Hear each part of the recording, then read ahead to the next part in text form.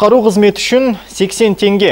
Жыл басынан бері қала тұрғындарының коммуналдық төлемақыларға арналған түбіртектерінде осындай қосымша төлем түрі келе бастаған. Бірақ бұрын соңды болмаған коммуналдық ақының пайда болғаны халықтың наразылығын тудырып, істің арты сотқа дейін жетіп отыр. Мәселенің мән жайын толығырақ тілші тарқатып айтсын. Қарағанды облыстық және Қазыбек би атындағы аудандық прокуратурасына жаңа коммуналдық төлем ақылар жайында қала тұрғындарының атынан шағым түскен. Шағымда жыл басынан бері халықтың келісімінсіз шыққан жаңа төлем түрлерінің заңдылығын тексеріп, оның қайдан шыққандығын анықтауды сұраған. Бұл іс бойынша арнайы тексеріс жүргізген прокуратура коммуналдық төлемдерден бірқатар заңсыздықтарды анықтап отыр. Здесь необходимо было бұл істе жеке құтқару компаниясы алдымен тұтынушылармен яғни халықтың келісім шартқа отыруы қажет. Аталған құтқару қызметі ешкіммен келісімге отырмаған. Келісім жасалғаннан кейін ғана компания төлемақыларды халықтан талап ете алады.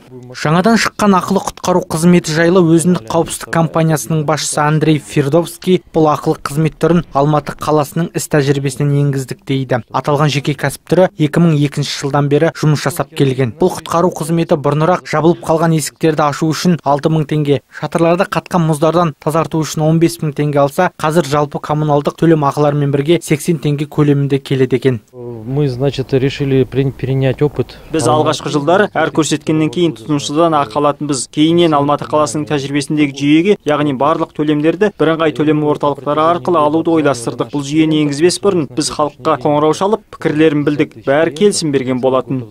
Андрей фридовский халықтың наразылығын түсінетін төлем ақылардың түбіртегін жібермес бұрын қала тұрғындарының рұқсатын алу керек еді дейді. Тек қана бірыңғай төлем орталығымен ғана келісім жасасқан құтқару компаниясы бұл орталықтың тұрғындармен келісім жайлы айтпады деп ақталады. Істі арнайы тексерген қазыбек аудандық прокуратурасы бірыңғай төлем орталығының жіберген заңсыздықтарын тез арада қалпына келтіруді тапсырды. Ал құтқару қызметі үшін құрылған компания қала тұрғындарымен келісім шартқа отыруды бастап та кеткен.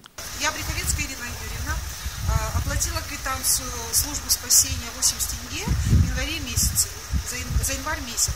Сегодня уже февраль, и ребята службы спасения приехали, отогрели машину, она не заводилась, замерзла.